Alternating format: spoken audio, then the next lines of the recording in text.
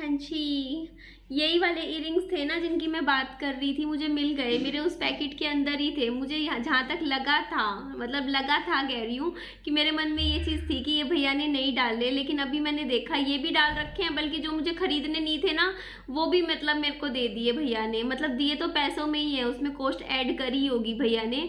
लेकिन ना मतलब उनको ना गलती से थोड़ी मिस्टेक हो गई थी। तो मैं आपको बता रही थी ना कि मेरे को ये वाले पसंद आए थे इस टाइप के थोड़े से लॉन्ग में। मेरे को लॉन्ग इयरिंग्स बहुत पसंद आते आते हैं। तो मैं इस टाइप के, जैसे होता नहीं जो डिज़ाइनर टाइप के, वो मैं लेती हूँ, खरीदती हूँ। और मैं कुछ और बात करने वाली थी। देखिए, मेरे को ना कुछ लोग ना थोड़े मिसअंडरस्टूड कर रहे हैं। मतलब आप सबको मतलब कुछ कुछ कहते हैं कि ना मैं पुलिस स्टेशन नहीं गई थी, ये नहीं गई थी। तो उसके लिए देखिए, मेरे पास सारे प्रूफ्स थे, लेकिन मैंने आप सबके साथ शेयर नहीं करे थे। कल मैं मैं पुलिस थाने में गई थी।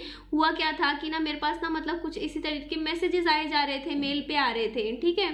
तो मैं गई थी पुलिस थाने। तो मैं पापा जी के साथ गई थी और मेरे को पता था कि जैसे पुलिस स्टेशन आप जाते हो तो करीबन लगा लो चार घंटे भी बैठना पड़ जाए, पाँच घंटे भी बैठना पड़ जाए, किसकी वेट करना पड़ जाए?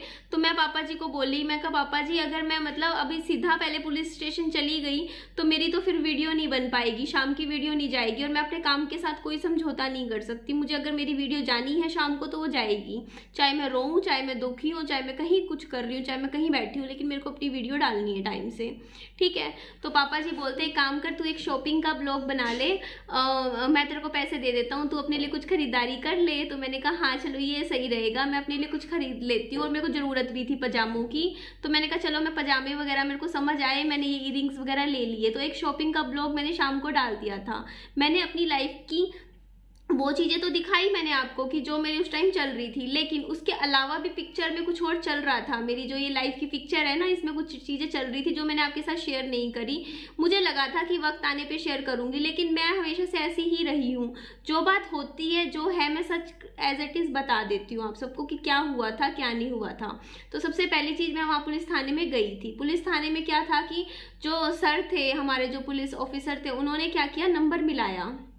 नंबर मिलाया उस नंबर पे जिससे मेरे को मेल आ रही थी ना तो उसमें एक नंबर उस बंदे ने छोड़ा था। तो उस नंबर पे फ़ोन मिलाया तो ना वो नंबर दिल्ली का था। दिल्ली का मिला था। उस बंदे ने फ़ोन पे कहा कि ये नंबर दिल्ली का है, लेकिन वो बंदा ही दूसरा था। वो बंदे ने पता है क्या किया? जिस बंदा था, बंदी थी, मैं ये भी नहीं कह सकती, फीमेल था जो मेरे को मैसेज कर रहा था मतलब फीमेल थी या मेल था, कुछ नहीं कह सकते, पर वो जो फ़ोन नंबर उसने मेरे को छोड़ा था ना, दिया था, वो फर्जी था, वो किसी और का जेनुअन नंबर था, जो कि उसने बंदे ने डाल दिया था। ठीक है? तो ये बात तो वहीं खत्म होगी। वो चीज़ तो क्लियर कट हो गई कि वो बंदा क्या था? बीच में जो कॉल कर रहा था वो क्या था? आ, मतलब नंबर वगैरह दे रहा था फर्जी था तो इसका मतलब झूठा था वो ठीक है? तो दूसरी चीज़ वो मेरे को हम इस टाइप के मैसेजेस कर रहा था तो मेरे को ना फिर वहाँ पे सर थे।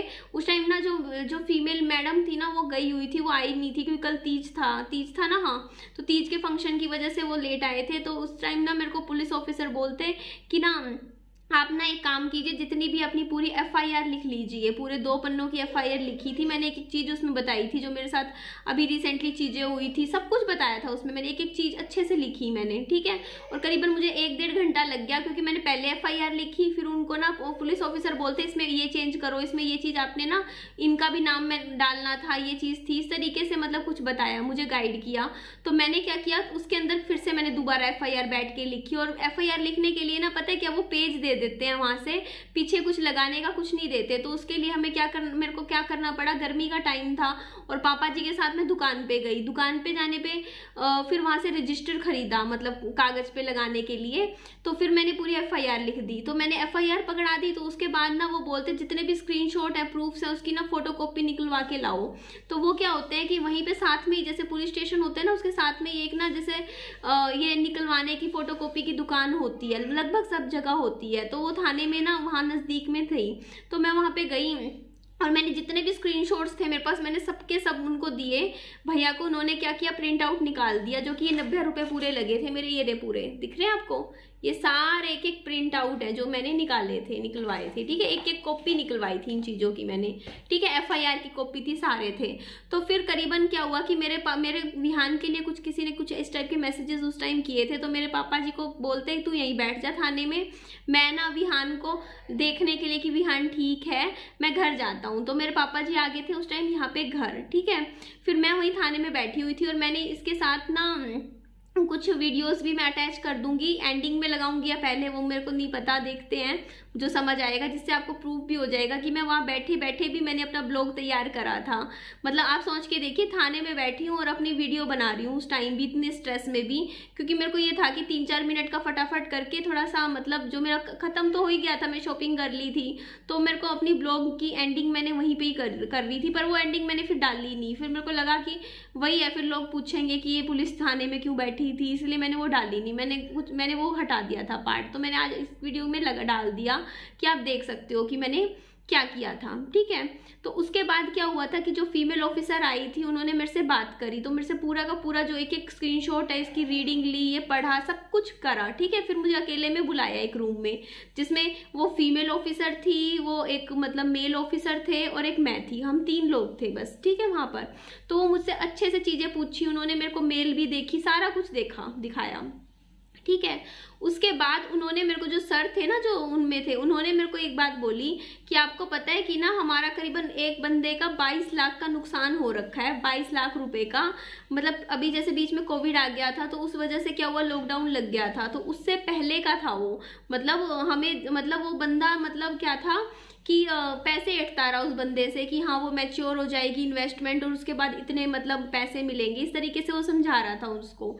तो उस बंदे ने क्या किया मतलब धोखे में आके 22 लाख रुपए एक साल के अंदर अंदर एक बंदे को दे दिए और वो भी सिर्फ़ फ़ोन पे बात कर करके। मतलब वो बता रहे थे, ऐसे भी लोग होते हैं, इतने बेवकूफ़ भी जो इतने इतने पैसे भी दे देते हैं फ़ोन पे बेवकूफ़ बन जाते हैं।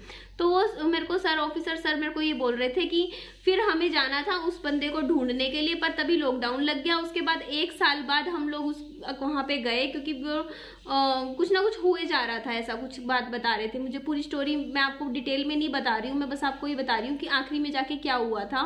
तो वो मुझे बता रहे कि वो जो अकाउंट था ना वो जिसमें ट्रांसफ़र करवाया गया था पैसा वो डेड अकाउंट था। मतलब वो इंसान सात साल पहले जा चुका था मर चुका था। तो उस अकाउंट में पैसा डलवाया गया और फिर क्या करा? वहाँ से निकलवा लिया गया। अब केस किस पे करें हम लोग? ये बात बताई मुझे। बोलते अब केस बनता ही नहीं किसी पे। किस पे केस करेंगे हम लोग? जब कोई है ही नहीं, किस पे करेंगे? समझ रहे हो आप ये चीज़? तो ये चीज़ बताई थी मेरे को। तो इसी तरीके से ना मेरे को ना मेरे सामने जैसी ऐसी लड़कियों की ना मतलब उन्होंने फोटोएँ रख दी, फाइलें निकाली और ऐसी जिनके साथ ना ये चीज़ हुई थी। फेसबुक पे उनके ना गंदे गंदे फ़ोटोज़ के साथ एडिशन करके चीज़ें बनाई गई थी। ऐसी दस पंद्रह फ़ोटोज़ मेरे को आप सामने रख दी, सामने बिल्कुल। ठीक है ये देखो आप। तो उसमें चीज़ें दिखाई कि बोलते ये जो बंदा है ना, जिसने फ़ोटो इस बंदी की बनाई है, लड़की की बनाई है, इस लड़की ने जिस बंदी की बनाई है ना फ़ोटो, वो जो आदमी है, उसका फेसबुक अकाउंट है, सामने है, ठीक है, सामने से काम किया है, ठीक है, सब कुछ किया है, ठीक है, और ये बंदा, ये केस 2019 का है और 2021 हो गया, दो साल से फ़ाइल पे फ़ाइल चल रही है, उसमें हम कागज़ भरे जा रहे भरे जा रहे भरे जा रहे आज तक कुछ रिज़ल्ट नहीं मिल पाया, कुछ रिज़ल्ट नहीं मिला, उसका भी। तो मैं थोड़ी शौक हो गई मैं ऐसे देख रही मैं कहा, बोलते इस बंदे ने एक्चुअल में ये जो चीज़ें करी है ना, नहीं पकड़ा गया। तो फिर उन्होंने मुझे एक्सप्लेन किया, बोलते जो ये साइबर का होता है ना तो इसमें चीज़ें वहाँ से आने में जो मतलब थोड़ा सा, थोड़े से लूप होल्स हैं इसमें, कि आने में जो टाइम लगता है तो उसमें ना जो अपराधी होता है, वो अपराध करके बच जाता है। वो क्या करेगा? उसने मेरे को बोला, सर ने मेरे को बोला कि देखिए, उस बंदे ने क्या किया? आपको ईमेल आईडी पे मैसेजेस करे हैं, ठीक है? वो पर्सनली मैसेज करे हैं, कुछ और भी टेक्निकल चीज़ें मुझे बता रहे थे, बोलते कि पर्सनली चीज़ें करी हैं, ठीक है? ऐसे कोई भी किसी को कर सकता है, ठीक है? तो उस बंदे ने, देखो, आपको ये कहा कि वो ये काम करेगा बट उसने किया नहीं एक्चुअल में वो करा उसने, लेकिन वो बाद में किया। उस टाइम बोला कि वो उसने किया नहीं, ठीक है? और फ़र्स्ट ऑफ़ ऑल उसने जो आईडी बनाई होगी, वो फेक होगी। और वो जो सिम जो यूज़ कर रहा है, का या कर रहा है, वो भी फेक होगा, फर्जी है। बोलते सारा काम फर्जी है। ठीक है? तो मैंने कहा हाँ ये बात तो सही कह रहे हो बोलते। और अब उस फर्जी बंदे के ज़ुबान से अगर वो किसी और का नाम लेता है मतलब कि हाँ इसकी, इसके कहने पे हम कर रहे हैं तो हम इस चीज़ पे यकीन नहीं कर सकते, जब तक हमें वो इंसान सामने नहीं मिलेगा। हम उसके मतलब सिर्फ़ उस फर्जी इंसान के, कुछ भी एक मेल के कहने से हम उस चीज़ पे नहीं जाएँगे। मैंने कहा हाँ ये आप बिल्कुल सही कह रहे हो। तो बोलते, और क्योंकि अगर वो किसी को ब्लेम भी करेगा कि नहीं, उसके कहने पे मैं कह रहा हूँ तो वो बंदा अगर मना कर देगा साफ़, और हर बंदा बोलते, अगर कोई भी बंदा है, कोई गलत करता है काम, वो कभी एक्सेप्ट नहीं करता कि हाँ उसने किया है। तो क्या होगा कि उस बंदे के पास ले गए हम, और ये कहा कि नहीं, आप ये काम करवा रहे हो। तो अगर उसने मना कर दिया कि नहीं किया उसके बाद केस तो कमज़ोर हो गया, केस में कुछ दम ही नहीं रहा। मैंने कहा हाँ ये बात तो है। बोलते, लाखों मतलब लाखों तो मैं ज़्यादा बोल गई हूँ। शायद हज़ारों केस ऐसे हैं जिन लड़कियों के साथ ये चीज़ें एक्चुअल में हुई हैं, जिनकी ऐसे ऐसी फ़ोटोज़ बनाई गई हैं वीडियोस बनाई गई हैं, फैला दी गई हैं। लेकिन बोलते हैं इतने सालों से केस पे केस चल रहे हैं फ़ाइल भरे जा रही है, कुछ भी उनको रिज़ल्ट नहीं मिल रहा। क्योंकि ऐसे सिस्टम में बहुत सारे लूप होल्स हैं जहाँ से लोग चुटकियों में बच जाते हैं फेक आईडी बना के निकल जाते हैं। क्योंकि ये चीज़ अभी इतनी वो नहीं हुई है स्ट्रॉन्ग नहीं है। मतलब ये चीज़ें मुझे बोली गई। ठीक है तो मैंने कहा कि इस चीज़ में मैं क्या कर सकती हूँ? आप बताइए। बोलते बोलते बोलते बोलने दो क्या कर लेगा? बोलने से क्या हो रहा है? काम कर वो कह रहा है ना तेरे को कि मैं तेरे घर आ रहा हूँ घर आ रहा हूँ। कह दे आ जा भाई तू आ जा। आ, पता नहीं क्या कोई गंदी सी बात बोली थी पता नहीं मेरे को तो कुछ समझ भी नहीं आई। हरियाणवी में थी वो करके आज पता नहीं क्या मेरे मेरे को नहीं पता यार क्या बोला था बस कुछ ऐसी वर्डिंग थी कुछ अलग सी। बोला था वो करके आजा आ, मतलब आ तू आ तो सही पहुँच तो सही। उसको ना बोलते फिर कि ना उसको यहाँ पहुँचा हम तो इसको पकड़ लेंगे धर लेंगे। बोलते कोई नहीं है ये ना तो ये कुछ कर सकता ना इतना कुछ करने वाला वाली जो भी है। बस ये ना कोरी धमकियाँ दे रहे हैं सिर्फ़ इसलिए। ये बात खुद बोली है मेरे को पुलिस ऑफिसर ने। बोलते आपको परेशान किया जा रहा है सिर्फ़ और सिर्फ़ इस टाइप के मैसेजेस हमारा तो रोज का काम है ये चीज़ हम तो देखते हैं कि ताकि आपका काम पे असर पड़े, आपका काम ना ध्यान हो वीडियो पे जाए, आप टेंशन में रहो और आपका क्या होगा? आप इन्हीं चीज़ों में उलझे रहोगे। आप आज बैठ गए हो, यहाँ पे आके चार घंटे बैठा, माथा बच्ची करी आपने, आपका टाइम खराब हो गया, आपका काम ही नहीं हो पाएगा आपका। और जो आपके जो कॉम्पिटिटर हैं, जो आपके साथ ये चीज़ें कर रहे हैं मतलब कि आप परेशान रहो वो आगे निकल जाएँगे। बस यही कर रहे हैं और इससे ज़्यादा कुछ नहीं है। आप बोलते हैं कि आप इस चीज़ों पे बिल्कुल भी ध्यान मत दो। कोई इस टाइप के मैसेजेस कुछ आए, आप सीधा उनको तुरंत हाथों हाथ ब्लॉक मारो और इग्नोर मारो बिल्कुल। और इस बारे में मतलब ऐसे लोग जो कर रहे हैं, करने दो, ठीक है? आपके पास जब कुछ है ही नहीं उसके पास, वो कह रहा है कि आपकी ऐसी फ़ोटो बना देगा, ये कर देगा। बोलते आपने कब, उन्होंने मेरे से पूछा, आपने कभी शेयर करी थी अपने हस्बैंड के साथ कुछ ऐसा? मैंने कहा, नहीं, मैंने कभी भी कुछ भी शेयर नहीं किया। बोलते जब उसके पास कुछ है ही नहीं तो कोई धमकियाँ हैं, छोड़ो उस बंदे को। ठीक है? और वो पता नहीं कहाँ बैठा हो यूपी में हो, कहाँ पे बैठा हो दूर दराज का, ऐसे ही बस मैसेज कर, मैसेज तो कोई भी किसी को कर सकता है। और वो भी फेक अकाउंट से आईडी से पता चलना नहीं, आपके ही, आपका ही नुकसान होगा इस चीज़ में। बस ये बोला मेरे को कि आप पूरी तरीके से ऐसे लोगों को इग्नोर करो और अपने काम पे ध्यान दो। और अगर कोई बंदा कहता है ना कि हाँ मैं यहाँ आ रहा हूँ, चार बंदों को लेके तो कह दे भाई, तू जल्दी आ, तू पहुँच तो सही, तू आ जा, प्यार से बुलाओ बल्कि, कहो, आ जा भाई, तू अभी आ, तू। ऐसे मुझे बोला, बोलता ऐसी ये चीज़ होती है, ऐसे करो आप।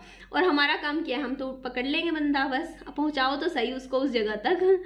मैंने कहा, ठीक है। तो मैंने ये चीज़ करी थी, मैंने कहा, उस बंदे को मेरे सामने ही मैसेज करवाया। सर ने बोलते आप करो बोलते हैं हाँ आ जा। मैंने कहा ठीक है आ जा। मैंने मैसेज किया और उस बंदे ने उसका स्क्रीनशॉट बना के कहा ये देखो निधि बुला रही है मेरे को हमारे पास। तो उसका करके चेंज चूंज करके और कर, पता नहीं कैसे फेक अकाउंट बना रखे हैं क्या है और इंस्टा पे बना रखे हैं। तो मुझे काफ़ी टाइम से ना इनकी चालबाजियाँ चल रही है मुझे परेशान करने की और अब मैं बिल्कुल भी परेशान नहीं होने वाली हूँ। मैं आराम से मस्त रहनी रहना है। मुझे टेंशन फ्री अच्छे अच्छे अच्छे से काम करूँगी, मेहनत करूँगी, खुश रहूँगी और अपना वज़न कम करूँगी। अच्छे अपनी पर्सनैलिटी पर ध्यान दूँगी बल्कि। ठीक है जी, चलिए मैं इस वीडियो का एंड कर रही हूँ। ध्यान रखिए, खुश रहिए। बाय बाय टेक केयर चलो, मैं अपने हेटर्स को भी इतना जवाब देती हूँ। आप भी खुश रहिए, ठीक है? और ये तो ये वाली चीज़ तो फेल हो गई आपकी, है ना? हो गई ना फेल तो मेरे को आप परेशान नहीं कर पाए। चलो, एक दो दिन कर भी दिया होगा, पर अब तो मैं फिर से खुश रहने लग गई हूँ ना?